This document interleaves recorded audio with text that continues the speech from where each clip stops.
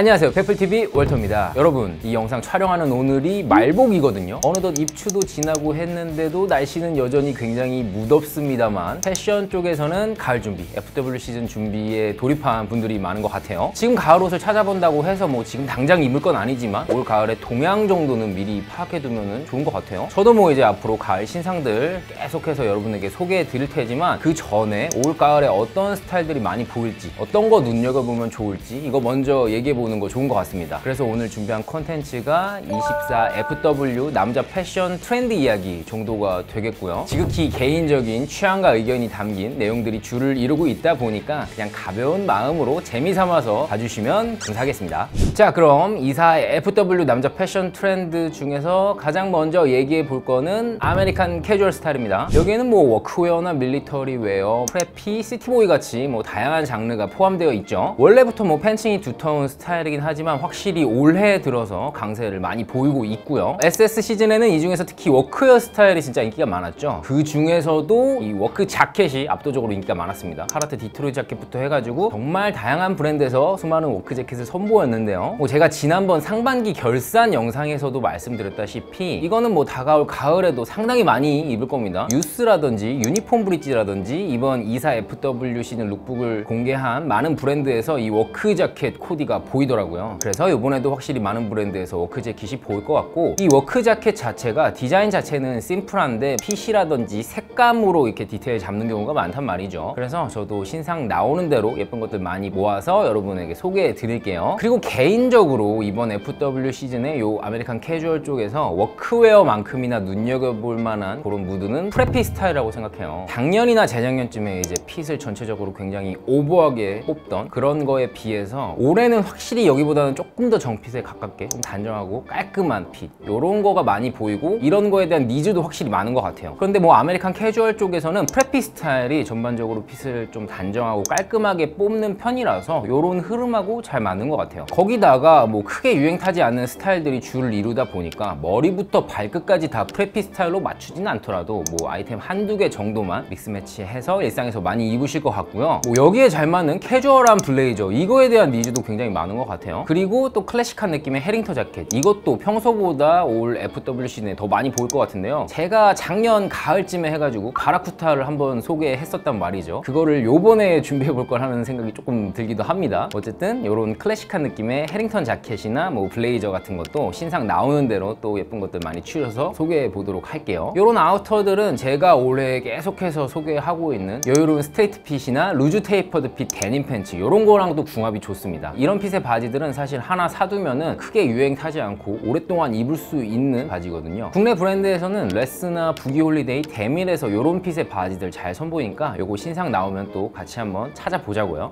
네, 이어서 다음으로 말해볼 24FW 남자 패션 트렌드는 빈티지 그런지 스타일입니다. 이런 뭐 빈티지 그런지 스타일이 유행한 지도 벌써 기간이 꽤 된 것 같은데 제가 보기에 이런 스타일이 점점 이제 정점을 향해 가고 있는 것 같습니다. 청바지만 봐도 뭐 디스나 washing 세게 들어가 있는 거 진짜 많이 보이고요. 그리고 상의는 진짜 종류 가리지 않고 pigment 아이템 엄청 많이 보이잖아요. 그리고 앞에 말씀드렸던 work 재킷도 사실 원단에 물 빠지고 빈티지한 느낌들 많이 살리다 보니까 쪽이랑 좀 궤를 같이 한다고 할 수 있을 것 같아요. 근데 이런 양상이 또 우리나라에서만 보이는 건 아닌 것 같은 게 제가 얼마 전에 그 일본 신진 브랜드들 일본에서 최근에 인기 많은 신진 브랜드들 소개할 때도 보면은 대부분이 이제 빈티지 무드를 메인으로 가져가는 그런 브랜드들이었단 말이죠. 그래서 이런 빈티지 grunge한 무드가 최근에 많이 보이고 확실히 유행이라고 할 수 있는 그런 트렌드이긴 하지만 유행의 정점을 찍고 한 번에 확 꺾여버리는 이런 스타일이라기보다는 그냥 어느 정도는 계속해서 인기를 유지하면서 명맥을 이어갈 것 같은 그런 스타일인 것 같아요. 이런 빈티지나 그런지 패션 얘기하는데 또 커트 코베인을 절대 빼놓을 수가 없잖아요. 커트 코베인 하면 떠오르는 그 그런지 패션의 상징적인 아이템들이 몇 가지가 있는데 그 중에서 여러분이 참고해 볼 만한 거는 일단 체크 셔츠인 것 같아요. 어, 커트 코베인 사진 보면은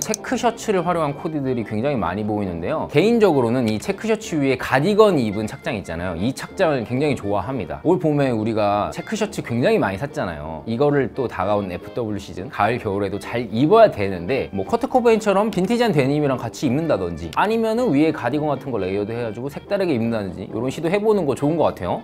빈티지랑 그런지 스타일 이야기한 김에 이어서 이야기해볼 다음 패션 트렌드는 layering입니다. 커트 코베인이 티셔츠 위에 체크 셔츠 입고 그 위에 가디건까지 입은 것처럼 이번 시즌에는 굉장히 다양한 layered 스타일이 많이 보일 것 같아요. 저는 최근에 스타일이 좀 많이 담백해지긴 했지만 진짜 옷을 열심히 입었던 20대 중후반 요때를 생각해 보면은 layered 여러 개 했을 때가 아 옷 입는 거 진짜 재밌다 이런 생각을 많이 했거든요. 그리고 여름에는 사실 뭘 껴입기가 힘들다 보니까 요 FW 시즌 되면 확실히 layered해서 입는 맛이 있는 것 같아요. 이 layered라고 하면은 그냥 일반적으로 이제 흰 티를 안에 입고 그 위에 맨투맨이나 후드티 입으면서 이 속에 입은 흰 티가 적당히 내려오는 거. 요 정도를 생각하는 게 일반적일 텐데 올해는 이 안에 입는 거를 흰 티 말고 뭐 pigment라든지 아니면 색감 들어가 있는 거 혹은 스트라이프 패턴 이런 걸로 입어보는 것도 좋을 것 같고요. 셔츠 위에다가 후디나 맨투맨 같은 거 입는다든지 아니면은 체크 셔츠 위에 그 work vest 같은 이런 vest 입거나 자켓 위에 이런 vest를 layered하는 식으로 다양한 layered 시도를 해보면은 옷 입는 재미가 또 굉장히 쏠쏠하지 않을까 생각이 듭니다. 그리고 다음으로 얘기해 볼 거는 좀 스포티한 무드예요. running core인데요. gorpcore를 필두로 해서 무슨 코어, 무슨 코어, 무슨 코어 해가지고 이런 core 패션이 굉장히 많잖아요. 이런 core 패션 중에 최근에 가장 주목받고 있는 건 이 running core인 것 같아요. 온러닝을 비롯해서 노다 같은 이 런닝화 브랜드들이나 디스트릭트 비전이나 세티스파이 같이 런닝을 베이스로 하는 의류 브랜드들 이런 것들이 최근에 hype이 있었는데요. 제가 최근에 피터 사이즈님이 그 running core 패션에 대해서 얘기하시는 걸 봤어요. 이게 매니아들의 소수의 영역이지 대중들에게 패션으로 오지는 않을 것 같다 이런 말씀을 하셨는데 저는 여기에 100% 공감을 합니다. 저도 이제 런닝이 취미거든요. 제가 나이키 런닝 기준으로 지금 한 2,000km 정도를 뛰었어요. 근데 저는 런닝 뛸 때 어차피 내가 땀 범벅이 되고 완전히 무너질 걸 알다 보니까 멋부리고 이런 거 생각 전혀 안 합니다. 그냥 나이키에서 나온 런닝 의류들 입고 진짜 대충 개차반으로 입고 나가서 뛴단 말이죠. 그래서 런닝할 때 입었던 옷들을 일상에서 뭔가 패션적으로 mix match 해봐야겠다는 생각 자체가 들질 않더라고요. 그래도 뭐 신발 같은 아이템은 일상에서 패션 아이템으로 mix match 할 수 있을 것 같고요. 옷 쪽으로 보자면은 뭐 러닝할 때 가볍게 걸치는 바람막이 있죠. 이 정도는 일상 패션에서 좀 mix match로 활용할 수 있을 것 같습니다. 이렇게 running core 같이 매니아의 영역인 패션 스타일들은 머리부터 발끝까지 다 이런 스타일로 한 가지 스타일로 맞춘다기보다는 한두 가지 포인트 아이템만 빼와가지고 일상 착장에 mix match 할 때가 확실히 센스도 더 돋보이고 멋있어 보이는 것 같아요.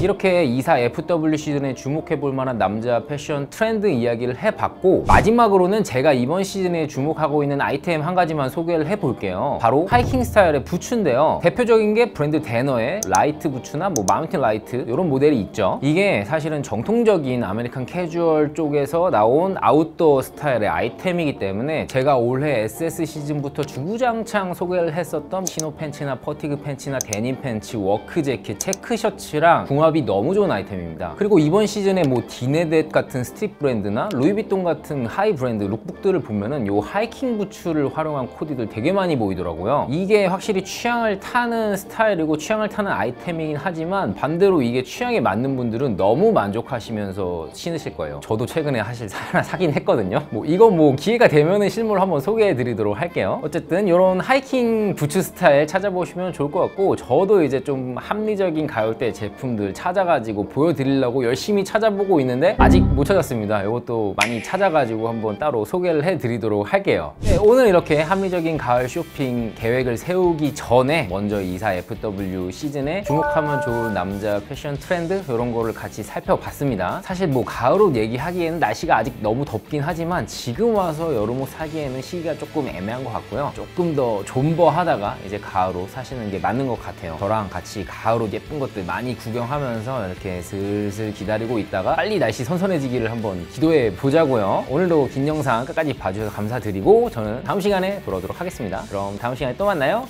안녕.